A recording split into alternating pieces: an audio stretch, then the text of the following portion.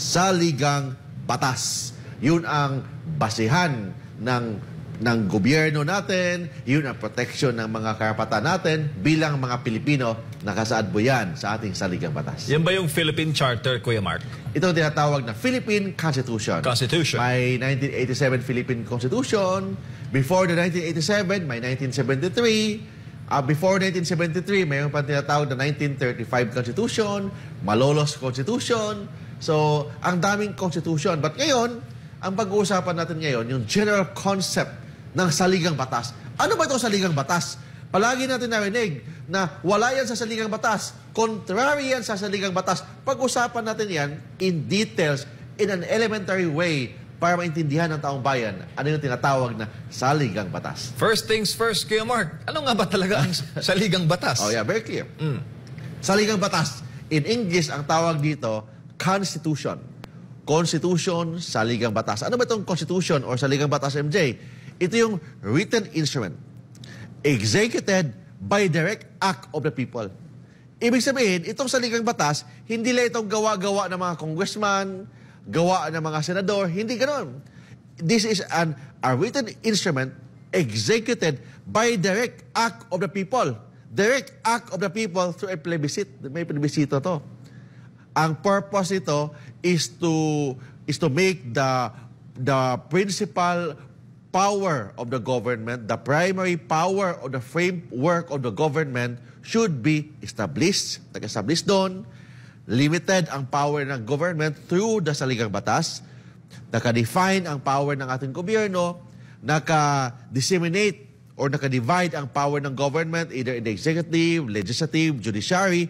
Ang purpose nito is for the benefit of the body politic.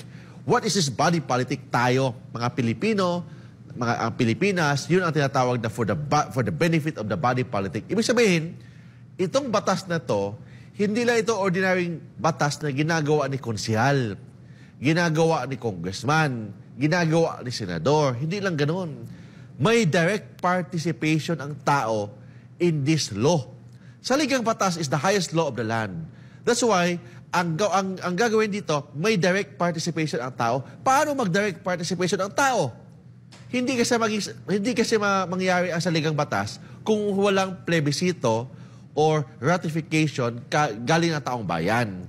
That's why this is the highest law of the land.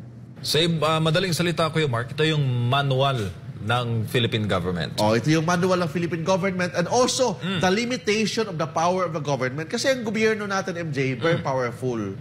In fact, kahit may limitasyon nga, dami ng abuso dyan, mga congressman, mapapahiya, mga ganon. That's why, that's why may limitasyon. May limitasyon ang kanilang power. Yes, they're elected by the people.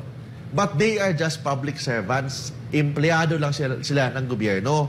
Under the concept ng Philippine Constitution, sovereignty resides from the people and all government authority emanates from them. Ang ibig sabihin doon, ang power ng ating gobyerno, nakasa- na galing talaga yan sa taong bayan, pinagkatiwala lang sa mga politiko, mga political leaders natin.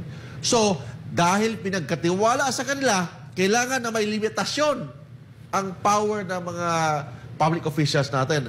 Limitasyon sa power ng ating presidente, vice presidente, senador, including congressmen and local government officials, may limitasyon. Sana ka ang limitasyon?